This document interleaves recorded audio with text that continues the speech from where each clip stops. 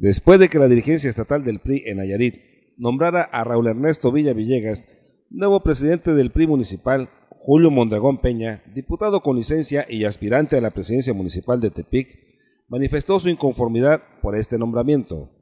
Villa Villegas, una persona que agredió a parte del Congreso del Estado, una persona que, que jugó con, ayudándole a un partido opositor al nuestro, una persona que metió en conflictos a la CNC, hoy se le premia dándole la dirigencia del partido a nivel municipal del municipio más importante del estado.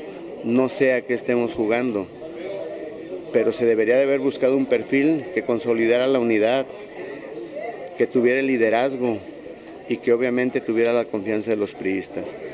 Yo creo que esto lo tendrá que responder la presidenta del PRI en, base a, en base a qué se tomó la decisión de esta persona que nada ayuda al prismo eh, tepicense. Además, Julio Mondragón detalló que Villa Villegas desde siempre ha sido un líder traidor a la institución. Si vamos a hablar de unidad, de los dientes para afuera, pues a lo mejor yo creo que la sociedad no nos va a creer ni ese mensaje ni tampoco nos va a creer obviamente el que estemos unidos.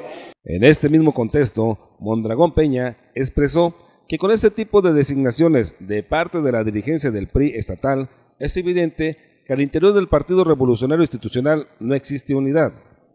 Antes de concluir la entrevista, Julio Mondragón, en tono molesto, expresó que si la dirigencia del PRI sigue actuando de forma irresponsable al momento de designar a sus dirigentes, a nadie sorprendería que para este proceso electoral designen a Miguel Ángel Navarro Quintero como presidente del PRI estatal.